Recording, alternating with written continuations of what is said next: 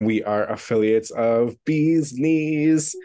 So make sure you check out that link. Um, we had the pleasure last year of interviewing Sarah um, from Bees Knees. So you make sure you check out that beautiful interview. Um, she is a pole entrepreneur. She sells beautiful custom made knee pads, all sorts of designs and sizes, and they're rip off, easy take off, and then easy put back on.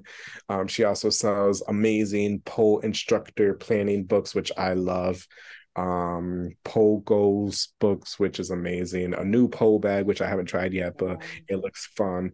And also other stuff i think. So check out that link. Affiliate means we get a small commission at no extra charge to you and it just helps us support us in all we do you know.